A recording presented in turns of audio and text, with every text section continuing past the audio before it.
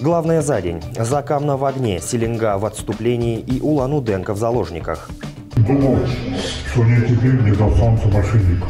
Спектакль с печальным финалом. Как мошенники обманывают простых людей. Почему они не могут донести до урны? Здесь же куча урн. Ну, это воспитание получили, конечно. Сменили пиджаки на одежду для огорода. Депутаты горсовета убрались в сквере имени Пушкина. Например, в прошлом году э, к нам приехало 600 туристов из Тайваня. Топ-3 в ДФО. Бурятия – один из самых привлекательных регионов для туристов. Я болею за село, вот честно. Мне хочется, чтобы в районах работа тоже велась. Новое правительство в Бурятии. Чем будут заниматься молодые чиновники? Ну что за мужики? Он Так, Неправильный мужик. неправильный мужик. Да. Настоящие мужики на АТВ. Смотрите наш тематический эфир в воскресенье. Я Намжил Коновалов. Вы смотрите новости на АТВ. Здравствуйте. Начнем со свежих подробностей об истории загадочного исчезновения Сысек Буиновой и Станислава Нарбоева. Напомню, они пропали в ночь на 12 апреля. В Слиткоме заведено дело об убийстве. Ведется расследование.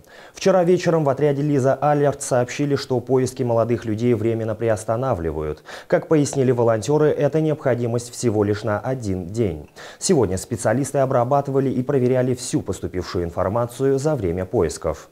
Активные действия приостановлены, пока правоохранительные органы и координаторы работают с собранной информацией. Назвать точное время возобновления активных поисков мы не можем, потому что позвонить и поставить новые задачи могут в любой момент. С исчезновения Сысек и Станислава прошла ровно неделя. За это время нашли машину девушки. Авто было без номеров. На стекле следы крови. Изучаются кадры с камер видеонаблюдения, которые, возможно, встречались по маршруту передвижения пропавших. Все это время в поисках участвуют все неравнодушные. Порядка 500 человек и 70 машин ежедневно. Волонтеры наткнулись на лужу крови в сотых кварталах. Она взята в работу на экспертизу. Вот лично мной вообще полностью весь лес обследован. Вот этим сталкиваемся, что люди не понимают, как искать. Я на четвертый день, вот где все волонтеры проходили, я нашел часы, нашел банковскую карту. То есть вот они прямо вот лежали у речки, но элементарно не увидели этих вещей. То есть нет, это давно утерянная карта, но выглядела очень свежая.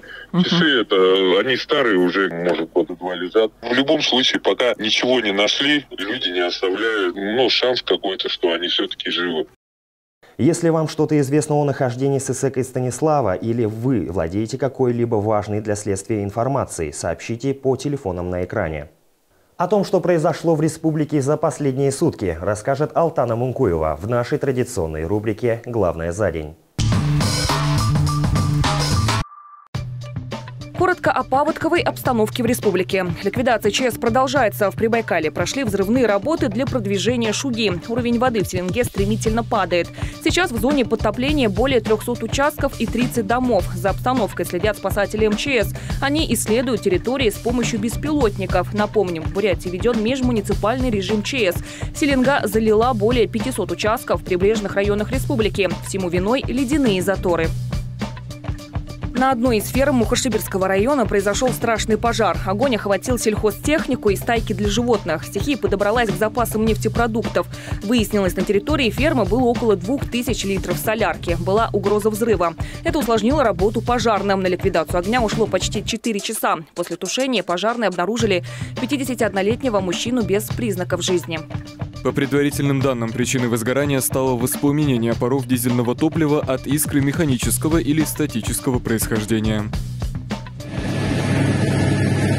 За камни огнеборцы спасают лес от крупного пожара. Работу усложняет местность возгорания. Пламя охватило гору с крутыми склонами. Специалисты вручную отрабатывают кромку пожара, взбираются к месту с 20-килограммовым ранцевым огнетушителем за плечами, а затем спускаются к подножию горы для заправки и далее по новой. В работе задействовано почти 80 человек. Усложняет ситуацию сильный ветер. В железнодорожном районе Улан-Удэнец ради бутылки спиртного устроил разбой. Во время затяжного запоя мужчина получил отказ от супруги на финансирование новой порции алкоголя. Долго не думая, он взял нож, надел балаклаву и отправился на грабеж в ближайший офис микрозаймов. Угрожая сотруднице конторы, разбойник сорвал куш в 10 тысяч рублей. 35-летнего улан-удэнца задержали в тот же день. Возбуждено уголовное дело. Жительница Якутии нажилась на военном из Бурятии. По данным СМИ, она волонтерила в Улан-Удэ, где и познакомилась с мужчиной. Во время продолжительного общения девушка воспользовалась его доверием. Заполучила банковскую карту с пин-кодом, которую должна была передать родственникам бойца СВО. Но одним миллионом 160 тысячами рублей воспользовалась сама. Девушка вела свой блог и продавала курсы под названиями «Влюбись в себя» и «Как выйти из долговой ямы». Возбуждено уголовное дело, блогеру грозит до 10 лет тюрьмы. Гражданку Монголии задержали из-за 50 килограмм лука севка. Женщина пыталась провести его через границу в пяти пакетах. Выяснилось, продукция входит в список товаров высокого фитосанитарного риска. На них нужны специальные документы, каких у гражданки Монголии не оказалось. На нее выписали протокол, лук остался в России. Аферисты продолжают обманывать жителей Бурятии. Злоумышленники на другом конце провода способны разыграть спектакль, чтобы втереться к нам в доверие. Зачастую по такой схеме работают сразу несколько мошенников. Все просто. Один говорит, что у вас какая-либо проблема. Например, ваш аккаунт в госуслугах взломали. После этого аферист переключает вас на своего напарника, который продолжает пугать свою жертву. А после предлагает пути решения. Чаще всего звучит так. Переведите все свои накопления и кредитные деньги на такой-то счет, иначе вы все потеряете.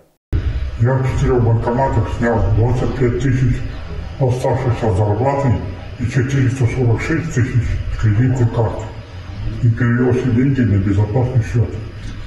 Ну, думал, что они теперь не достанутся мошенникам. Деньги не достанутся мошенникам только в одном случае, если вовремя бросить трубку и обратиться в полицию. Аферисты притворяются работниками банков, сотрудниками правоохранительных органов, работниками здравоохранения, мобильными операторами и даже вашими родственниками. Техподдержка портала госуслуг никогда не будет звонить гражданам и сообщать о взломе их личного кабинета или о попытках взять их кредит от их имени – Аферисты утверждают, что в избежание негативных последствий необходимо как можно скорее закрыть кредитные счета, открыть и взять новый кредит, а затем перевести денежные средства на специальный защищенный счет. Помните, безопасных счетов не существует.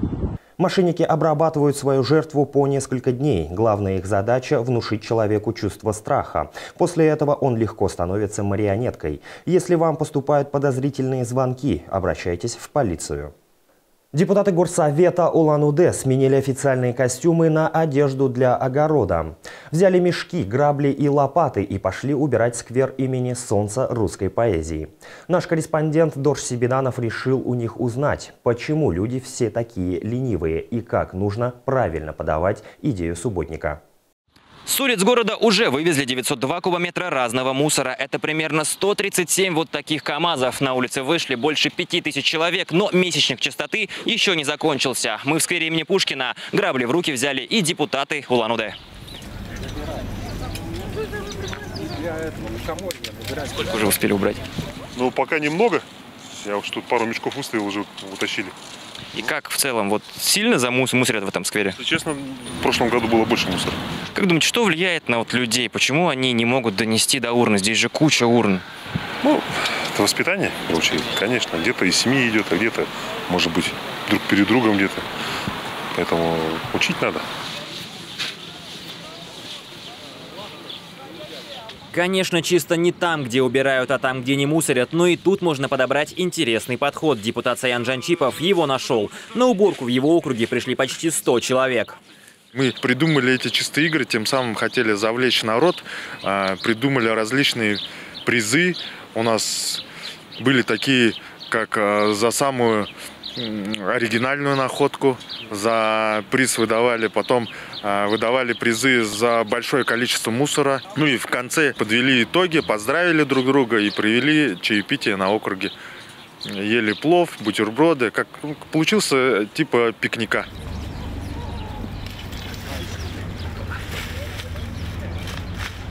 Общегородской субботник пройдет 20 апреля. В этот день полигон Вахмистрова будет бесплатно принимать мусор до трех кубов с одного человека. Сдать можно все, кроме строительного мусора. Возрастное ограничение 0+. Дор Сибданов, Александр Семенов, телекомпания АТВ. Месячник чистоты поддержали и на Верхней Березовке. Сегодня от мусора избавились на территории Дацана Хамбын-Хуре. Студенты и сотрудники этнографического музея всего за час собрали несколько десятков мешков. Как это было, знает Мариам Восконян. Месячник чистоты в улан продолжается, и сегодня сотрудники этнографического музея и студенты многоуровневого колледжа приехали на территорию Датсана на Верхней Березовке, чтобы убрать мусор. Здесь фантики, трава. Угу. Очень много сухой травы, ленточки, упавшие угу. с деревьев. Вот если честно, вас заставили или нет? Нет. нет. Надо угу. же поддерживать чистоту на своей угу. планете, территории. А, мусора мы собрали сегодня очень много, потому что в последнее время был ветер, видимо, мусор принесло с других мест. Это картонные коробки, пенопласт и другое. А, поэтому старательно убираем, стараемся, и мы рады помочь. Бывают эти остатки химарины, которые на деревья вешают. Но лучше желательно не вешать. Специально отведенные места у нас есть там за территорией Дацана, лучше там вешать. И на живых деревьях лучше не вешать. Плохо деревьям. В году два-три раза где-то уборку делают. Хотел бы поблагодарить их. Но Буин делает где-то хорошо чистоту, уборку Дацаны делает тоже хорошо. Вообще, на самом деле, история с волонтерством у нас очень много тесно связывает. Многие приезжают к нам помогать в этнографический музей. Вот сегодня, например, убираются, у нас помогают э, сотрудники Бурпроводнадзора, а мы своим, своим коллективом, помимо своего музея, конечно, приезжаем, помогаем нашим соседям э, в Верхнеберезовскому Дацану и призываем всех жителей Верхнеберезовки, всего города Улан-Удэ выйти на субботники и сделать наш город чище. Мариам Восконян, Сарюна Нанзатова, телекомпания АТВ. Это еще не все. Смотрите сразу после короткой рекламы. Например, в прошлом году э, к нам приехало 600 туристов из Тайваня. Топ-3 в ДФО. Бурятия – один из самых привлекательных регионов для туристов. Я болею за село, вот честно. Мне хочется, чтобы в районах работа тоже велась. Новое правительство в Бурятии. Чем будут заниматься молодые чиновники? Ну что за мужики? Так... Неправильный мужик. Неправильный мужик, да. Настоящие мужики на АТВ. Смотрите наш тематический эфир в воскресенье. Акция 1 плюс 1 в Абсолюте. Купи две упаковки тефтелей с рисом по цене одной. Абсолют. Гарант низких цен. Покупай в Абсолюте выгодно. Чипсы «Пан-Пан» всего за 99 рублей. Абсолют. Гарант низких цен.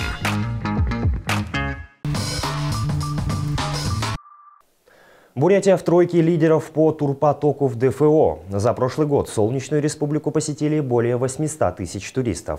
Это на 160 тысяч больше, чем за 2022 год. Сегодня в Национальной библиотеке собрались те, кто может называть себя лицом нашей республики. Гиды и туроператоры. Это их первый профессиональный съезд за всю историю. Что они обсудили, расскажет Антон Симонов. Весь туристический цвет республики в одном месте. Гиды, водители и туроператоры за три дня обсудят, как сделать Бурятию еще привлекательней для гостей. Мы стараемся вот какую-то профилактику, что ли, проводить, э, чтобы людям рассказать, да, что нужно, чтобы стать гидом, э, какие направления у нас востребованы, популярны, на каких маршрутах скоро будет, будет большой поток туристов. Э, и вот как раз съезд для этого. Сейчас гиды в Бурятии востребованы как никогда раньше. Только за прошлый год республику посетили посетили более 800 тысяч туристов. Мы видим, что Байкал, Республика Бурятия стала интересна и для иностранных гостей. Например, в прошлом году э, к нам приехало 600 туристов из Тайваня. До этого вообще э, статистика не регистрировала оттуда туристов. На этом съезде мы как раз поговорим об этом какое же место Республика Бурятия занимает на туристической карте России. Наверное, самая большая гордость – это то, что я аттестована в Бурятии, и в Иркутской области, да.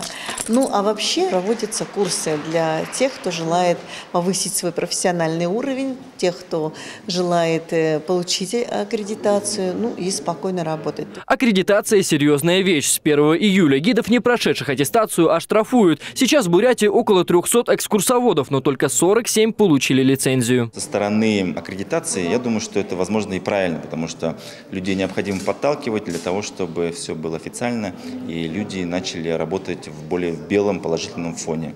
И сам я тоже собираюсь аккредитовываться. Отдельный вопрос – заработок. По словам специалистов, начинающий гид может получать от 3000 рублей в день. Согласитесь, неплохо. А как войти в эту профессию, вы сможете узнать на первом съезде гидов в Бурятии. Он продлится до 21 апреля. Возрастное ограничение 18+. Всю необходимую информацию вы можете узнать по QR-коду на экране. Антон Симонов, Сарюн Нанзатова, телекомпания АТВ. В Бурятии новое правительство. Конечно, речи о серьезных политических перестановках не идет. В республике сформировали совет из молодых и амбициозных людей. Он так и будет называться – «Молодежное правительство». Чтобы попасть туда, нужно было написать эссе и пройти собеседование. Кого выбрали и чем будет заниматься новый орган, расскажет Алина Котова. Наша работа совместная должна приносить пользу республике. Вот он, новый совещательный орган Бурятии – молодежное правительство. В него вошли 15 человек от 18 до 35 лет. Среди них есть и учителя, и журналисты, и предприниматели. На первом в своей истории заседании выбрали председателя и двух замов. Этот коллектив станет своеобразным мостом между молодым населением и властями республики. Я с Кабанского района, села Корсакова. И там мы вот выигрываем э, конкурсы грантов на то, чтобы продвигать молодежь молодежные проекты. За последние пять лет мы около полутора миллионов, наверное, привлекли. Я болею за село. Вот честно, мне хочется, чтобы в районах работа тоже велась. Молодежное правительство есть в 50 регионах России. На Камчатке, например, оно работает уже 15 лет. Структура, как и у основного органа власти – председатель, зампреды и профильные министры. Однако в Бурятии решили пойти иным путем. Вместо министерств создадут комитеты. Каждый из них будет курировать определенный проект. Мы возьмем, наверное, лучшие истории, лучшие практики из других регионов. Самарская область, а, с, по-моему, называется рабочая молодежь. То есть прям а, охватывает очень сильную молодежь, которая ищет работу и объединяет работодателей. Будем подбирать такие проекты, которые именно в нашей республике, с нашей конъюнктурой работал бы хорошо. Молодежное правительство Бурятии будет работать на общественных началах, то есть без зарплаты. Свяжем с э, министерствами и ведомствами, закрепим э, эти проекты за определенными кураторами. Думаю, что вот этот старт в молодежном правительстве будем рассматривать как и определенные социальные лифты. С проектами и направлениями молодежное правительство еще определяется. На это есть две недели. В течение этого времени орган составит годовой план работы. Его разместят на сайте Министерства спорта и молодежной политики. Алина Котова, Александр Семенов, телекомпания АТВ. Каждое воскресенье мы посвящаем определенной тематике. На этих выходных, 21 апреля, в эфире АТВ, вы увидите сюжеты, программы и фильмы про настоящих мужчин. Включайте наш канал на 21 кнопке и смотрите лучшее, что мы выпускали о бурятских мужчинах.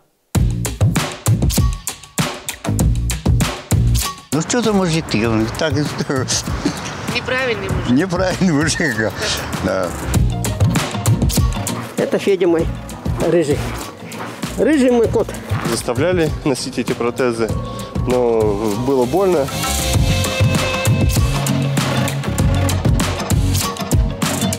Тогда еще в поселке Хоринск Республики Бурятия посчитал необходимым быть здесь. Просто заступился за эту девушку, как бы это.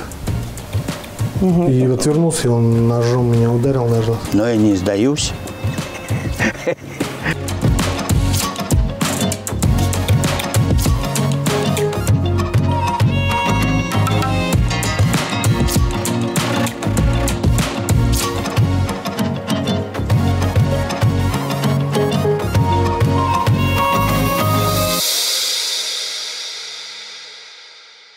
Не детские страсти в 42-й школе. Накануне там сразились четыре команды по мини-футболу. Соперникам всего по 13-14 лет, однако на поле они настоящие профессионалы. Ребята отстаивали не только честь учебного заведения, но и боролись за призы от депутата горсовета Дмитрия Турченюк. Кто оказался лучше в защите и нападении, знает Антон Симонов.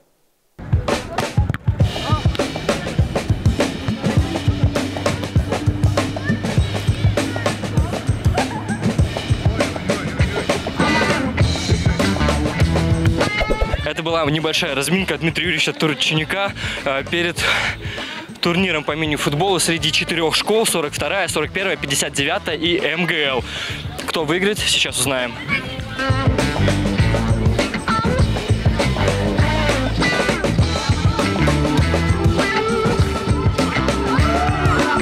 Сейчас хорошая погода, отличный газон.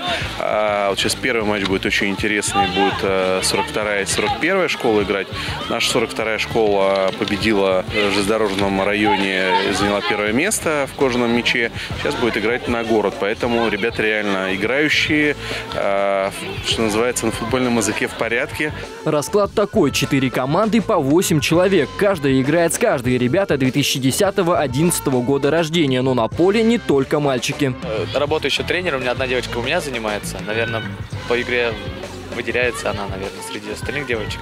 А другие просто любят футбол, поэтому я взял, у нас как бы не было какой-то задачи там выйти, выиграть всех, просто поиграть, выйти, принять участие активное. Ну, я считаю, что мы не должны получить последнее место. Хотя бы третье.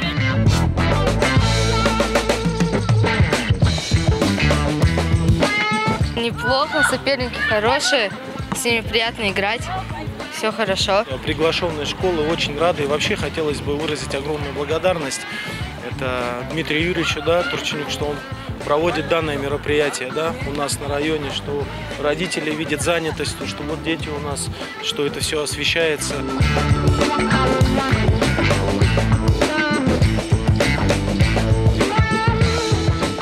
Играют ребята не просто за медали и кубки. Дмитрий Турченюк подготовил для каждой команды подарки. Тем не менее, победитель только один. Победителями в турнире становятся хозяева в этом году. Школа номер 42. Остальные места разделились так. Серебро у 59-й гимназии, бронза у школы номер 41 и четвертое место заняла команда МГЛ. Антон Симонов, Александр Семенов, телекомпания АТВ. На этом у меня все. Еще больше новостей в соцсетях АТВ. Чтобы не пропустить самое интересное, переходите в наш телеграм-канал по QR-коду на экране и подписывайтесь. С вами был Намжил Коновалов. До встречи в эфире и хороших выходных. Акция «1 плюс 1 в Абсолюте». Купи колбасу из свинины и получи вторую в подарок. Абсолют. Гарант низких цен. Для вкусного чаепития в Абсолюте. Печенье Орео всего за 138 рублей. Абсолют. Гарант низких цен. Оптика ССЭК. Вас ослепляют блики и свет фар? Специальные очки для вождения обеспечивают комфорт и четкость изображения. Это ваше здоровье и безопасность. Сохраните здоровье глаз. Ваша оптика СССР.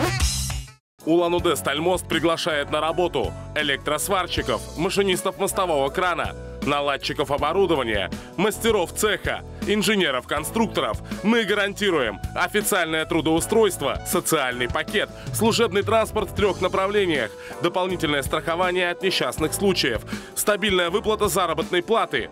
Звоните 505 505, добавочный 105.